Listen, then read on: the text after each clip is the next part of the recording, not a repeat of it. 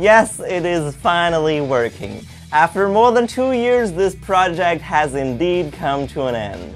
Welcome to Chronic Mechatronic. I'm Benjamin, and today I want to show off my Arduino pen plotter, talk about some pros and cons of this design, and fix a little issue I'm having with this machine.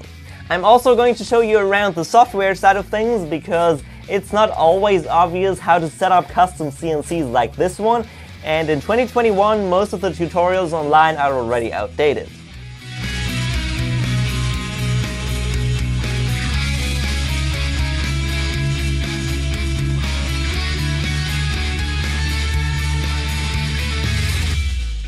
Well, that intro was slick, even if I say so myself. So for a little bit of context, I built this machine back in 2019. I don't know the exact time of the year it was, but it only took me like three days to build all the mechanical stuff, like the entire gantry and everything. However, when I moved on to the software, which is one of the most important, if not the most important part of the CNC, I just could not get it to work.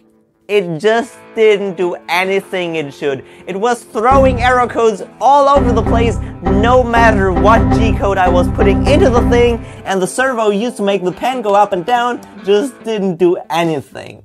And all that even though I was following the instructions to the letter. So after about a week of trying to solve a mystery in a field I ultimately had no experience and no knowledge in whatsoever, I eventually did what every reasonable person would do and simply gave up, telling myself that I just wasn't quite ready for CNC yet. But now, after two years with a big project coming up, I thought it would be a good idea to get this thing working in the first place, so I went all out and after two weeks, two rather tiring weeks of sitting on the computer all day long, I finally got it to the point where it is now. Now, I'm gonna come back to why it finally works later. For now, let's take a look at the good and the bad of the mechanical design. I know it's a little overkill for just a pen plotter, but I quite like the overall design as it's kinda compact and therefore sturdy, but also very simple and effective. And if that's not a pro, I don't know what is. It basically just consists of a plywood rectangle screwed together at the corners in which the drawing surface slides back and forth to make the y-axis. Then we've got these side pieces also screwed to the rectangle, to which I've attached a strip of MDF, which basically acts as the x-axis. The little X carriage is also made from MDF and has this tiny little Z-axis on it which slides up and down by about 10 millimeters on a bunch of metal rods and if it wants to draw, the servo just drops it and to stop it just pushes it up again. Like I said, very simple and effective. It just relies on the weight of the Z-axis to push the pen on the paper. May not work with pencils, but that's linked to a con I'll talk about later. The next advantage is obviously using these 28BYJ48 stepper motors. These are ridiculously cheap and in my opinion, well good enough for the job, even though a little slow. Related to the stepper motors, I'm not even using timing belts to move the axes back and forth. It's actually just some stiff string which is clamped underneath the washer here and runs over a pulley on the motor as well as an idler on the other side. To take some of the radial load from tensioning the belt off the motor, I added a little extension shaft to the pulley and extended the motor mount to take up the force. Now you might wonder, what if the string slips on the wooden pulley? Well, Fear not, I got you covered as I foresightedly lined the groove of the pulley with 800 grit sandpaper, which very effectively stops any slippage up to the point that if it runs past the end stop into the wall, it just starts abrading the string. Guess how I know that?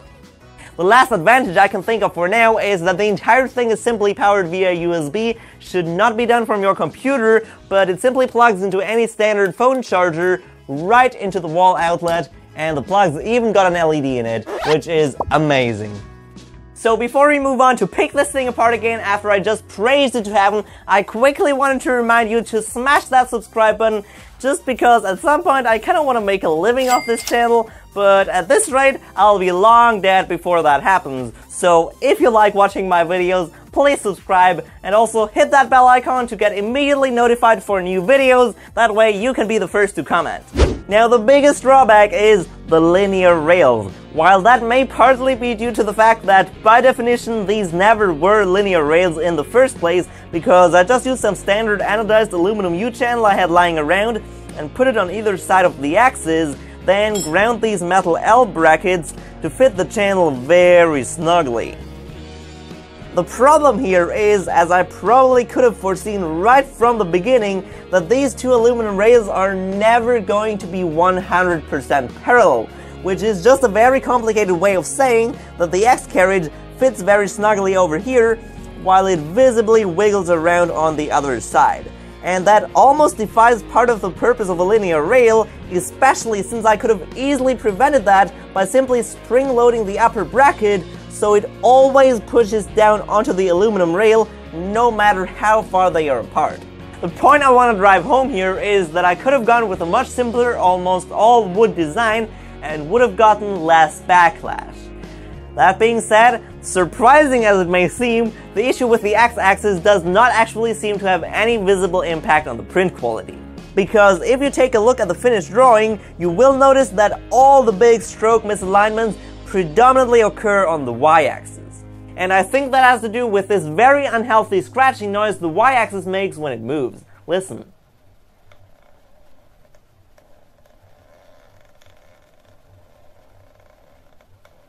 Yeah, that's not good. I think it's just the idler pulley binding on the shaft, so I'm gonna fix that right now. Fixing that actually brings me to the next disadvantage of the design, which, although to be honest purely an inconvenience, is serviceability. Yes, I didn't exactly skimp on glue joints, even though on a CNC everything should be adjustable or at the very least removable in case you need to access or replace some other parts.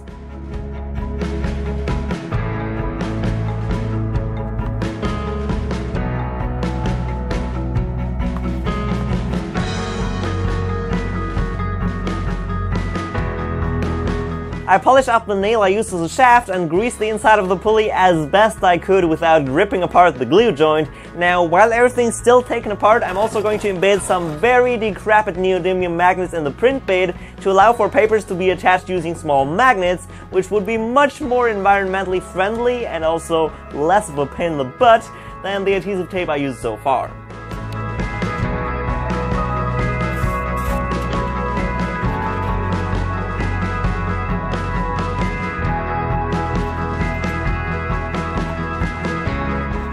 So the last con I want to talk about is the pen holder. Initially, the idea seemed very slick. Just being able to take the pen, pop it into the machine and start printing. Basically, what I did was just cut off one of these lids and hot glue it onto the machine, which does make for a very nice quick release. The idea being, since I have these pens in all kinds of colors, I could just take whatever color I like and put it into the machine to start printing a nice colorful picture. However, that basically makes the machine only work with proprietary ink cartridges, which really sucks. Because in reality, sometimes I really want to use some other kind of pen, like either a ballpoint pen or even a pencil. Problem with these is, they just don't fit. So it really would have been better to make some kind of screw clamp thingy like you get on cheap compasses that way, I could at least use pencils whenever I like. And with enough complaints for the next decade, it was my very first CNC project after all. The thing is, I'm just so much better at detecting stuff that could be improved on a project while simultaneously taking all the good things for granted. Anyway, let's move on to the electronics. Electronic wise, there really isn't all that much going on here. We've only got an Arduino Uno clone and a ULN 2003 stepper motor driver for each stepper motor respectively, plus one measly limit switch per axis. Because the real magic is all done within the software. In fact, to make a CNC work at all with unipolar stepper motors instead of the traditional bipolar ones, the Arduino needs to be flashed with a slightly modified version of Gerbil in order to send commands the motor controller can actually execute. If you don't know what Gerbil or GRBL is, it's pretty much the standard firmware for Arduino-based CNCs. The specific version needed was modified by three very nice guys quite a few years ago and published on their GitHub pages. It uses a quote, ugly hack to make the Arduino cycle through the required steps directly, which eliminates the need for more sophisticated motor controllers. On pin 11, which was originally used for controlling the spindle RPM, we've now got control of the servo used to raise and lower the pen.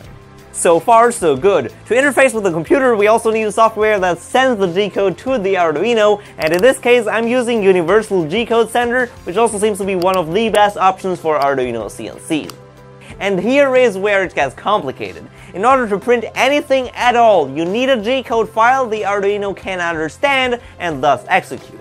To create such a file for a pen plotter, Inkscape is pretty much the only choice. It's a very good and importantly free vector graphics editor, allowing you to draw or transform anything you can possibly draw with an Arduino plotter into paths that can actually be executed by a CNC.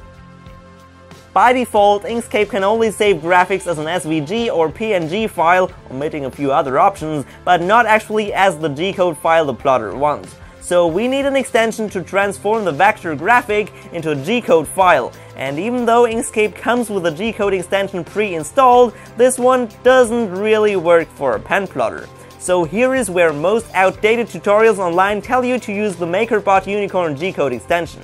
Worth noting that support for this app ended in 2018, and when I tried it in 2019, it didn't work at all like I mentioned in the beginning. That probably wasn't even due to the added support for the extension, because here is the part I really want you to take away from this video. Having a file labeled .gcode does not imperatively mean Gerbil can interpret it. And having a G-code file Gerbil can process is not automatically going to make the plotter draw the nice picture you drew in your computer most likely is going to execute the overall shape without ever activating the servo to put the pen down on the paper. And here is the reason why. First, most G-code generators for some reason litter the code with commands Gerbil doesn't understand. Second, since most G-code extensions are designed to work with a proper CNC, where the Z-axis is also controlled by a stepper motor, they will inevitably translate every start and stop of a line into a z-axis motion instead of the start-stop spindle command we need to activate the servo. Yes, it's literally that easy. This was the only reason why it didn't work when I tried it for the first time after building the plotter, it simply wouldn't move because the code didn't say so. And I assumed having a G-code file was synonymous with the Arduino being able to interpret it. So how did I overcome this? Well, after a lot of digging I came across another Inkscape extension which was specifically written to use a standard CNC machine as a pen plotter. And this extension includes a section where you can enter the specific G-code command needed to raise and lower the pen. So with all that cleared, what does the process of printing a file with the Arduino pen plotter look like overall? Still a lot more complicated than with your average printer, I'm afraid. First, we'll need to draw a file, and for simplicity, I'm just going to create two stars, one with and one without fill, just to show you something. Make sure all objects are converted into paths before launching the extension. Then we'll go to Save As, select the 3-axis G-code plotter option, and click Save. This is going to make the extension pop up where we can adjust all the settings, which I have already done, so I'm going to click OK, and now it saves the G-code file to the folder I selected earlier. Now we have a G-code file, but even with this extension there are some commands in it that will throw errors in Gerbil. So the only solution is to open the G-code file using some text editor and deleting the first few lines preceding the initial start coordinates. Also, for some reason the extension doesn't tell the machine to return to zero after completing the job, so I'm adding this command manually at the end of the file. Save, and we have a file ready for printing. In Universal G-Code Sender, we can now open that exact file, home the machine, return it to zero, and then, finally, press start.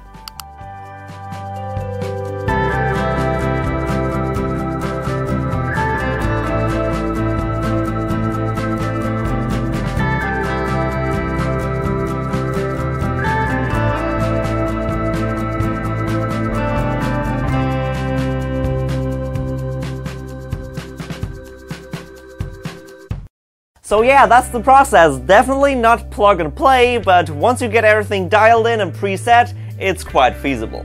My repair seems to have at least been partly successful, the terrible scratching noise on the y-axis is now completely gone, however, looking at the before and after test print, there is still quite some backlash left. Actually, it looks pretty much the same. To be fair though, some of that backlash is within the gearing of the stepper motor, and since the y-axis is just so much heavier to push around, it also has a much bigger impact on the overall print quality.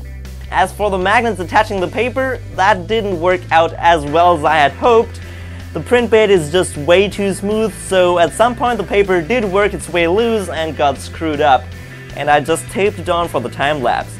But to be honest, I don't really care because at some point I'm gonna build a new pen plotter anyway, and that one's probably going to double up as a laser engraver because, to be honest, a pen plotter isn't really on top of the list of most practical tools you can have.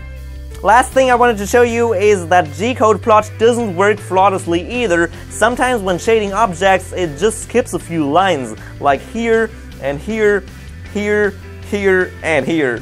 I mean, it's not a big deal, it's only one line out of many, but that really shouldn't happen. Anyway, I hope you enjoyed this story of a project that's been on hold for two entire years. If you did, don't hesitate to leave a thumbs up. As usual, links to everything I talked about will be in the video description, and I'll see you next time. Bye!